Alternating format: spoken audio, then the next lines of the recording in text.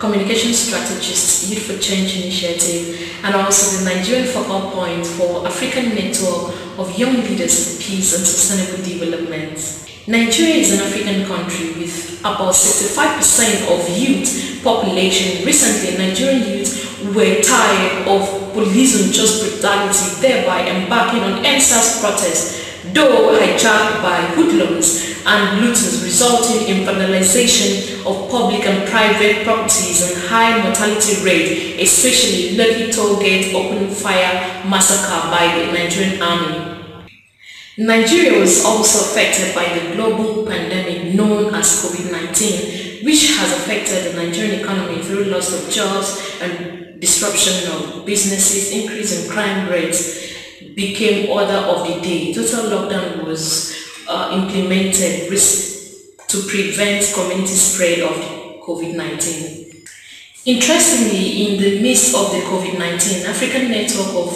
Young Leaders for Peace and Sustainable Development organized a certified regional webinar tagged African Youth Resilience Initiative Against COVID-19 aimed at engaging youth and civil society in the fight against COVID-19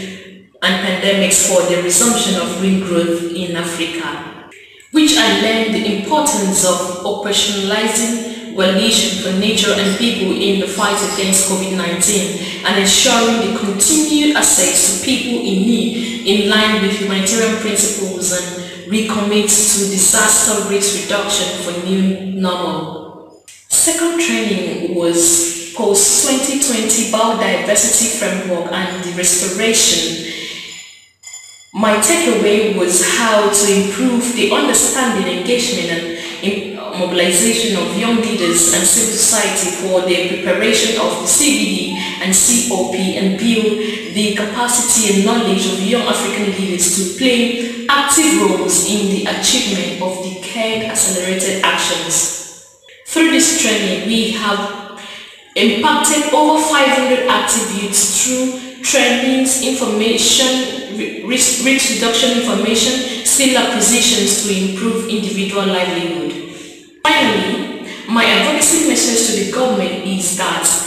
assets be given to Akwa Ibom State Youth Development Fund bill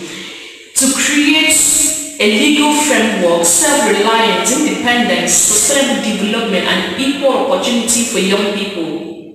to be economically empowered which I believe is a tool to